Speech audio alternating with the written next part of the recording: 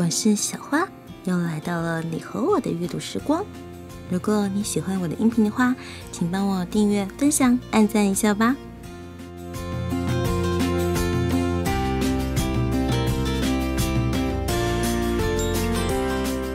谢谢你跟我一样一直坚持阅读到今天。在过去的文章当中，小花分享的文章多半都是痛苦、废掉、纠结、焦虑。是的，没有办法，人活着就是要面对这些东西。所以今天要跟大家分享的文章是：凡是让你爽的东西，一定也会让你痛苦。作者：水墨然。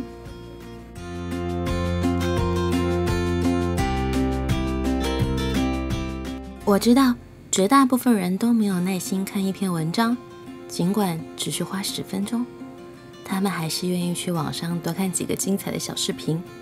但是，请相信我，你如果能安静下来阅读这十分钟，收获一定很大。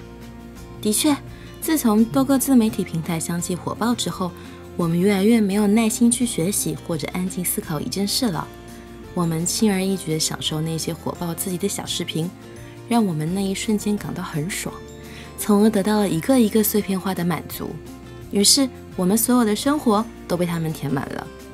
然而，上帝作为整个宇宙的设计师，他最精巧、最公平的一个设计，莫过于给人类设计了一个这样的枷锁：凡是能让你爽的东西，一定也能让你痛苦。人性有一种基本的特征，会对那些让我们精神和身体感到爽的东西产生依赖，这是人最天然的、最原始的需求。那么，爽是如何产生的呢？人的大脑有一种叫多巴胺的神经传导物质。它可以细胞传送脉冲。当人被外界刺激了愉悦时，多巴胺会大量爆发出来。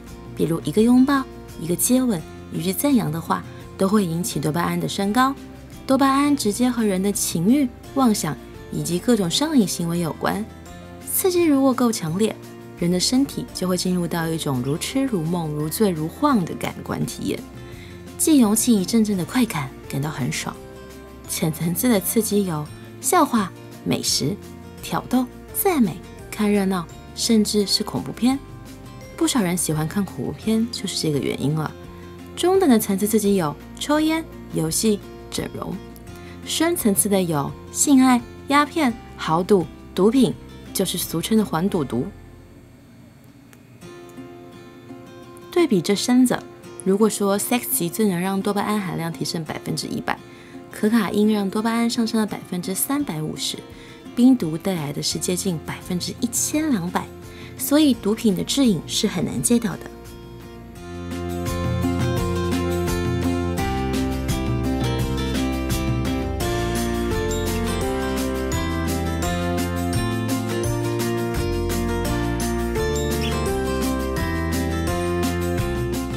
现在的世界越来越开放，无数。人们挣脱了很多传统的束缚，去最大化的追求各种快感，所以我们时刻都在互联网上寻求关于爽的各种体验，约会、娱乐、游戏、八卦、秘闻、段子等等。网上那些千奇百怪的小视频，恰恰满足了现代人的空虚感。可怕的是，就像我们开头所说，凡是能让你爽的东西，一定有人让你痛苦。比如美女、美食、美颜、美丽的罂粟花。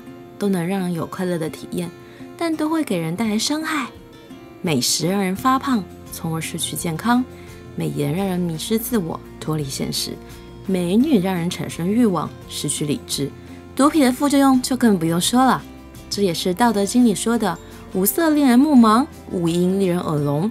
这就是我不玩短视频的原因，因为我当时出于好奇去下载了，玩的时候也感觉很新鲜刺激。但是刷完之后却又感觉格外的空虚。更可怕的是，人是会对快感脱敏的。当一个人习惯了反复被刺激和满足的时候，要想一直获得快感，就得不断加强刺激的程度。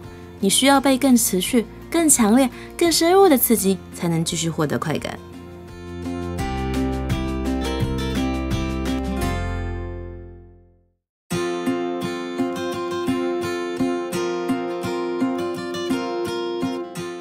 人产生快感的阀值是会不断升高的。比如，有的人抽烟，从刚开始两天一包到一天一包，再到后来要一天两包，最后甚至要两根烟一起抽才有感觉。鸦片、吸毒、色情、偷窥、赌博都遵循这个逻辑。总有人说，只要一种东西有人需要，就可以去生产。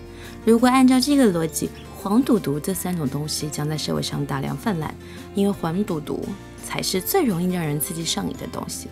有这样一个实验，在小鼠脑中买了一个电极，让小鼠踩大放电，每踩一次，电极就会刺激产生多巴胺的神经元兴奋。结果小鼠以每分钟几百次的速度踩它，直到力竭而亡。最可怕的是，现在这种爽的感觉竟然可以被现代技术和算法设计出来。首先，互联网时代出现了各种应用程序 （APP），大部分的 APP 本质是什么呢？每个 APP 背后都有一个强大的运营团队，他们用尽最前沿的科技 （AR 加 VR），用更大运算的数据处理能力（云计算加大数据），通过声、光、交互、反馈等全方位途径，再在各种心理学、消费行为学、神经科学等理论指导下，不断的给你刺激，让你持续的爽，越离不开他们越好。前段时间看过一篇文章，提到现在世界上竟然还有一种叫多巴胺实验室的公司，对外宣称能运用神经科学理论结合人工智能机器学习，用多巴胺让你的 APP 令人上瘾。他们为各种 APP 定制这样的服务，在一些关键的地方和时间点设计奖赏，比如不断的奖赏惊喜或物质或精神，从而提高用户的留存度、打开率和停留时间。这也就意味着增加 APP 的打开率。提高打开时间，就会让 APP 更值钱，赚更大的钱。因为在资本的眼中，用户的数量、日活率、月活率和平均在线长度等等数据决定了一个 APP 的价值。如今，各种各样的 APP 里，从图文到视频，从网购到资讯，从社交到游戏，从搜索到各种应用工会，没有一个 APP 不以此为衡量标准。在资本和利益的围剿之下，我们都只不过是一只只小白鼠。安静地立在时代中央，等待发落。比如，当你买完一件东西，马上送你一个代金券，让你在商场里继续购物，然后一直买，一直送。很多平台都是采用算法主导的自动推荐机制，你越喜欢看什么，就专门推荐给你推荐什么。当你收看完一个内容之后，甚至不需要做出任何的反应，系统马上会自动推送给你一个类似的内容。看得越多，系统就越了解你的喜好，给你的推送也就越精准。就是要无限满足你的胃口。即便像谷歌这样以不作恶来标榜自己的公司，产品设计的核心逻辑依然是如何才能提升增加点击率、延长用户使用时间，然后见缝插针、算计的去卖广告，满足这个逻辑的产品才被定义为好产品。这些算法会根据你的浏览、搜索、停留时间，计算出你最感兴趣的东西，然后不断的匹配相应的内容对你轮番轰炸，让你在最沉迷的领域里高潮不断。这就是为什么三俗内容越来越多的根本原因。直播平台里低俗无聊的表演，大卫视里故弄玄虚的选秀、真人秀，云里雾里的玄幻修真小说，网页上关都关不掉的色情暗示等等形形色色的垃圾内容，无处不在，故意吊人胃口。这些就像鸦片，让大众沉溺其中不可自拔。当一个欲望可以被无限满足之后，离灭亡就不远了。互联网是一把双刃剑。一方面给我们提供了各种的便捷，但同时又让我们变得越来越懒惰。它提供了很多浮华的内容，这些内容的设计逻辑都是以无限满足人性偏好为标准。人性的各种阴暗面，诸如窥私、意淫、八卦、暴力、对骂、凑热闹等等，都被激发出来并得到满足。从来没有任何一种东西能像互联网这样对人性洞察得如此彻底，并且将人类大众玩转于手掌之间。余热自死前言里有这样的一句话：人们在汪洋如海的信息中日益变得被动和自私，真理被淹没在无聊的繁琐的事实中。我们的文化成为充满感官刺激、欲望和无规则游戏的庸俗文化。如果按照这个趋势下去，社会上沉溺于各种刺激里的人将越来越多，甚至会形成一个巨大的无用群体。这些人连提供劳动力的机会都没有，他们没有信用，没有思想，不能借债。不能纳税，只能过着一种糜烂颓废、暗无天日的生活，如同一具行尸走肉。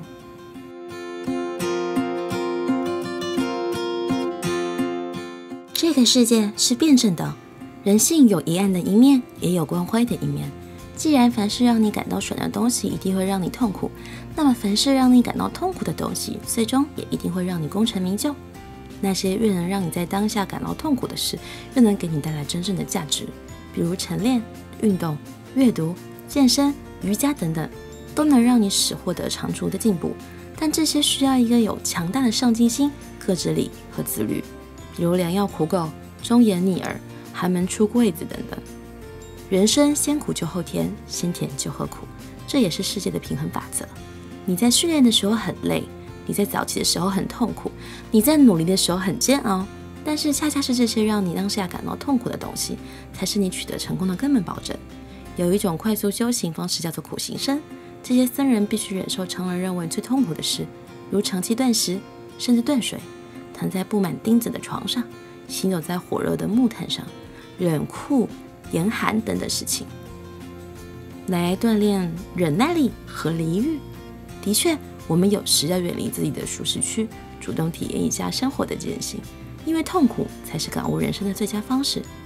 泰戈尔曾说：“只有经历过地狱般的磨练，才能锻炼出创造的天堂的力量。”随着科技的发展，现在人们真是连半点苦都不愿意去尝试了。所有东西都可以送到你家门口，所有服务都可以直接上门。科技发展就是以无限满足人的享受和欲望为核心逻辑。五千年的中国文化，说白了就是两个字：克己。克己的本事就是要适当控制自己的愿望，这就是中国传统文化最大的价值。但是现在主动克制自己欲望的人很少了。当绝大部分人选择被麻醉的时候，只有极小一部分人选择精进。所以，只靠自律和修身养性是不够的。社会上必须有一种监管机制来抑制人性的阴暗面。激发人性光辉的一面，我们每一个人能做的，就是形成和巩固自己的独立思考能力，学习、修身和正己，不贪图享乐和刺激，在自己专注的领域不断深耕和精进。希望每一个认真读完这篇文章的人都能做到精进。